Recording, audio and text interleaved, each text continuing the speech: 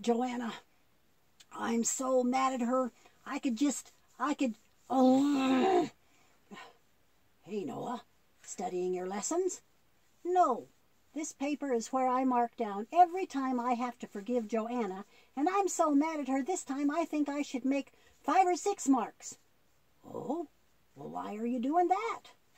Well, because I read in Matthew 8, 23, 21 and 22, I mean, that Jesus told Peter he had to forgive anyone who sinned against him 77 times. I see. And uh, so what happens when you get to 77?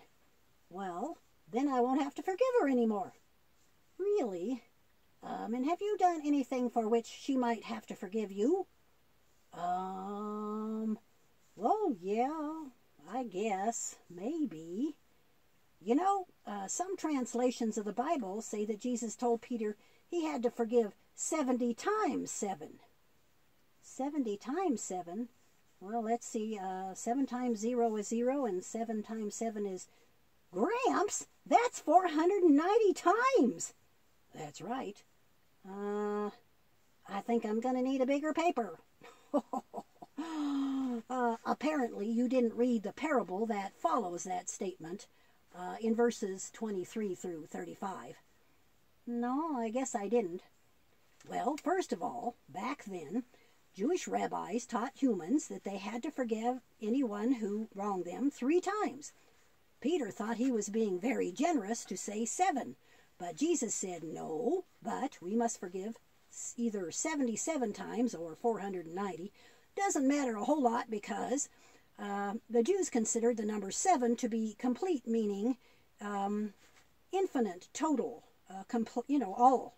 Uh, so 77 or 70 times 7 indicated how much more important it was than just 7. Uh, doesn't really matter, they're all figurative numbers anyway. Oh, so that means I have to keep forgiving no matter how many times someone does something to me?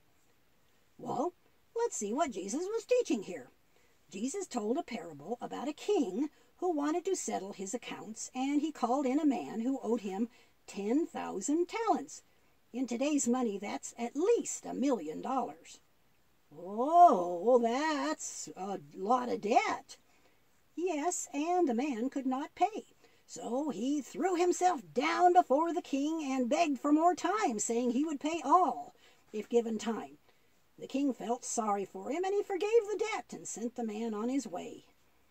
Wow, what a nice king! Uh, uh, I'll bet that man was really grateful that the king forgave so much money. Oh, yes, I'm sure he was. But then he went out and found a fellow servant who owed him a hundred denarii that's a few dollars in today's money. And when that man couldn't repay him, he grabbed him and began to choke him and demanded the money be paid immediately. The fellow servant begged for more time, but he refused and he had the man thrown into prison until the debt could be paid. He didn't. Oh, yes, he did, and after all the king had done for him. Well, what a jerk! Some other servants who saw this happen went to the king and told him about it. The king called the man back in, and he said to him, You wicked servant! After I canceled all that debt for you because you begged me to, shouldn't you have had mercy on your fellow servant just as I had on you? Then he turned him over to the jailers to be tortured until he should pay all he owed. Well, and he really deserved it, too. I mean, after all the king did for him, and, and how could he have just turned around and... Oh, um, I think maybe I'm doing the same thing, aren't I? Well, uh, what would happen, Noah, if everyone did as you are doing, kept track of how many times they forgave someone just so they could stop forgiving? Well, I guess eventually everyone would hate everyone else. And uh, that's what Jesus, is that what Jesus wants us to do? Well, uh, the last verse in this passage, uh, Jesus said, This is how my heavenly Father will treat each of you unless you forgive your brother from your heart. You, what you are doing is not really forgiving, is it? Um, no, sir. I guess it's not. Jesus said the same thing right after he taught the disciples to pray in Matthew 6:14. God is not kidding about this, Noah. You cannot be his child if you refuse to forgive. I see that now. I'm really out of line here. Uh, but, Gramps, forgiving is hard sometimes. Yes, but God doesn't leave us here on our own. If we're willing, if we remember how much He's done for us, and uh, and if we really love Him, then the Holy Spirit will help us to forgive and to love. Really? Well, well, that's really wonderful. Yes, it is. If I have wounded any soul today, if I have caused one foot to go astray, if I have walked in my own willful way, dear Lord, forgive.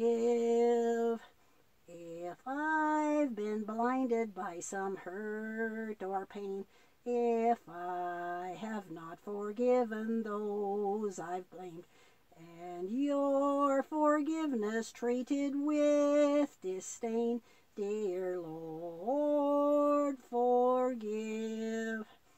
Forgive the sins I have confessed to thee. Forgive the secret sins I do not see.